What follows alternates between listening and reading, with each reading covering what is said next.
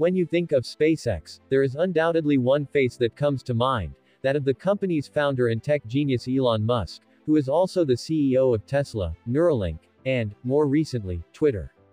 You will agree with me that the multi-talented CEO requires some capable assistance. Who executes Musk's ideas in SpaceX? What progress is SpaceX making in its first orbital flight?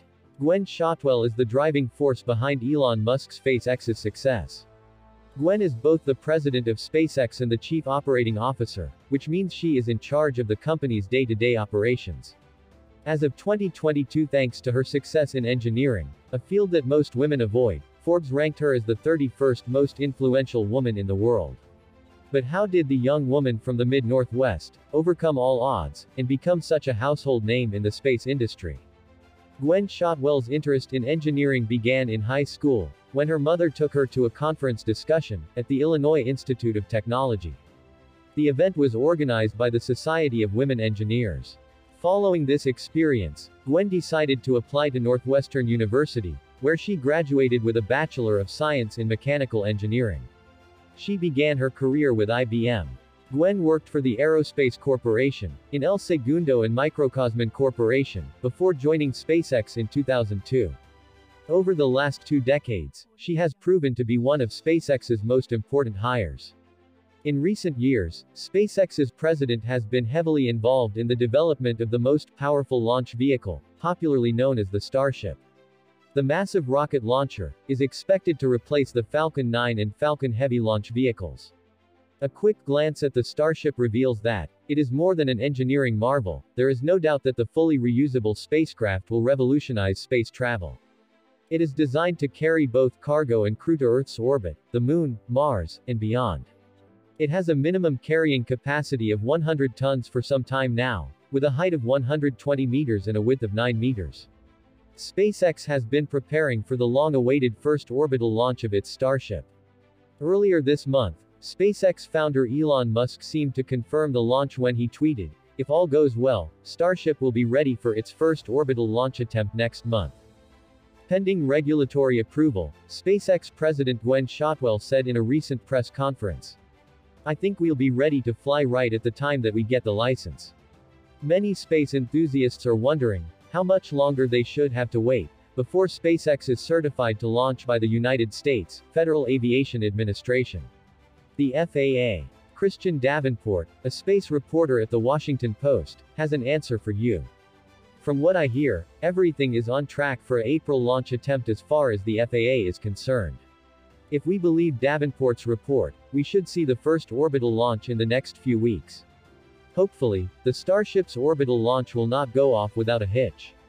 Hopefully, the eagerly anticipated orbital test flight will include a super heavy launch vehicle, known as Booster 7, and an upper stage spacecraft known as the Starship.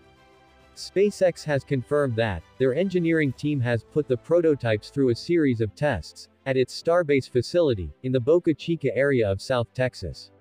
If the SpaceX Starship successfully launches into Earth's orbit, it will be a huge victory for Elon Musk and his team of engineers, and here's why the Starship will go down in history.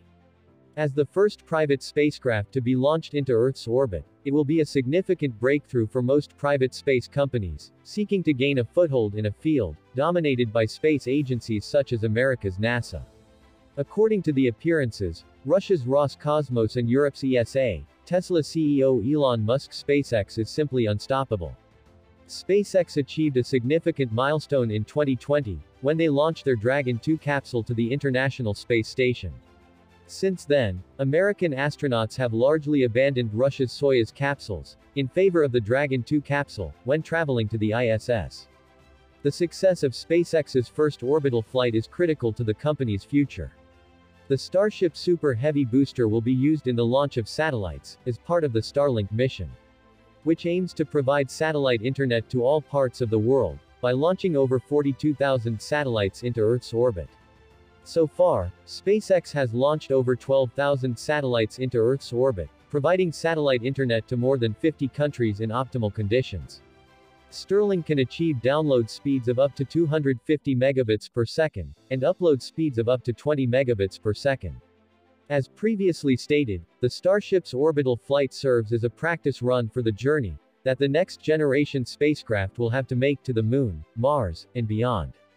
The SpaceX Starship will have to travel a minimum of 54.6 million kilometers to reach Mars. Astrophysicists estimate that the Starship journey to Mars will take approximately eight months. SpaceX CEO Elon Musk and SpaceX President Gwynne Shotwell expect to land the first human on Mars by 2029. SpaceX plans to spend the next two decades after that building a self-sustaining city on Mars. Massive migrations to Mars will begin in 2050, with 1 million people arriving by 2060. How Musk will make all of this a reality is mind-boggling. The success of SpaceX's first orbital flight is expected to increase cooperation between NASA and SpaceX. Currently, SpaceX is working on a $2.9 billion contract awarded by NASA. SpaceX will work on the Artemis 3 program, developing a human landing system for use on the Moon, as part of the contract. According to insiders, Washington is very interested in SpaceX, because the commercial space company is used to launch satellites for the U.S. military. No rocket family in history has launched more than 61 times in one calendar year, making Shotwell's Starship cadence target hundreds or even thousands of times more ambitious. It's unclear if the FAA's stringent environmental reviews would ever allow SpaceX to get close to that kind of launch cadence using pads built on U.S. soil. According to SpaceNews, Shotwell said that SpaceX really need S to flight Starship to understand it, to get to know this machine, and then we'll figure out how we're going to launch it. That disciplined focus could be just the thing the Starship program needs. More than 18 months after SpaceX first fully stacked a two-stage Starship, the rocket still hasn't attempted an orbital launch. SpaceX has, nonetheless, put a vast amount of money and effort into building, expanding, and optimizing factories and launch facilities for Starship, an orbital rocket that has yet to even partially demonstrate itself. In essence, SpaceX has made huge gambles on the assumption that a version of Starship mostly resembling what the company is building today will be highly successful, reusable, and reliable. SpaceX's success with Falcon 9, Falcon Heavy, Dragon, and suborbital Starship testing suggests that it will ultimately be successful in time. Nonetheless, Shotwell's apparent desire to conduct orbital Starship launches and gather data before making major investments in new infrastructure and, hopefully, big design changes and optimizations is a welcome change of pace. Shotwell reportedly assumed oversight of Starbase and Starship in late 2022. Thanks for watching this video and it's a super interesting topic. If you like this to make sure you can subscribe. If you have any crazy idea what we should cover in next video, please comment it below, and we will see if we can get the, and thanks again for watching and goodbye.